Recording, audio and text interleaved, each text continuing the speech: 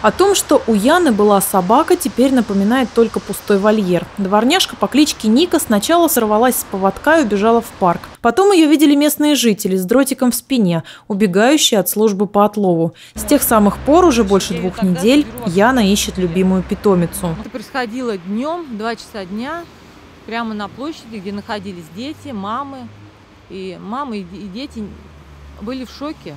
И они об этом мне сказали, нашлось 12 свидетелей, которые готовы подтвердить, что собак паковали в, в мешки. Сначала собаки падали, корчились спиной, у кровяная пена шла у них. Яна выяснила, что службу по отлову вызвал директор парка Степанова. Животных должны были доставить к подрядчику для стерилизации и передержки. Новое помещение для этих целей, заменившее страшный дом, теперь расположено на улице генерала Белова, на базе СМП по санитарной уборке города. Яна приехала на место, охранники подтвердили, отловленных собак свозят сюда, но пустить женщину на территорию отказались, хотя в мэрии обещали пустить. Вы должны мне показать, вы обязаны, вы нарушаете закон, вы удерживаете мое животное животные. А туда нельзя попасть, просто на эту территорию. Кто, никто не пустит. Вот я вам и звоню. А вы не имеете права удерживать мое животное. Я сейчас вызываю, значит, полицию. Вы удерживаете Хорошо. мое животное. Вы ничего не боитесь, что ли? Нет. А что не бояться?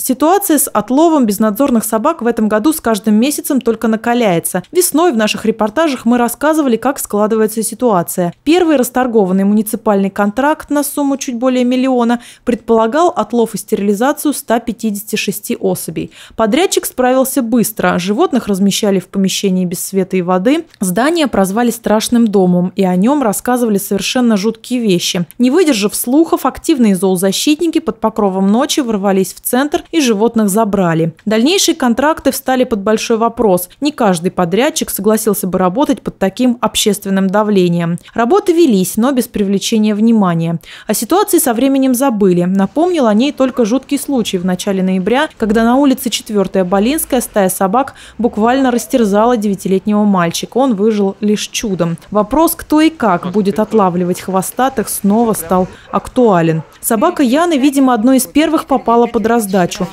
Женщина к зоозащитникам себя не причисляет и за права животных в глобальном смысле не ратует. Ей просто нужно забрать любимого питомца. Но ни мэрия, ни подрядчик навстречу не идут. Я с утра там была и потом поехала в администрацию. И после этого мне вы сказали, выезжайте, пропуск, типа пропуск, что езжайте, вас пропустят.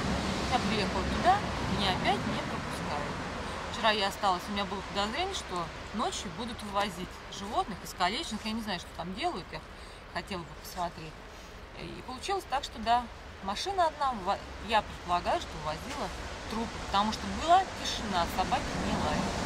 Яна требует открытых действий от городских властей, информации о том, сколько животных поймали, куда отвезли. Важно, говорит, убедиться, в каких условиях их держат и предоставить владельцам потеряшек право забрать животных. Вот а, несколько лет назад у моей подруги пропала собака, и мы на сайте нашли ее фотографию. Мы сразу же, там был телефон, там был адрес, мы позвонили, приехали и забрали собаку без всяких проблем. В этот раз я думала, что будет то же самое. Туда собака пропала, я позвонила в администрацию, и вот все вот это вот вранье началось, что я до сих пор, уже прошло 10 дней с отлова собак, я до сих пор не могу выяснить, кто отлавливал, где отлавливали, куда собак, самое главное, увезли. Я ночами не сплю, у меня дети очень переживают.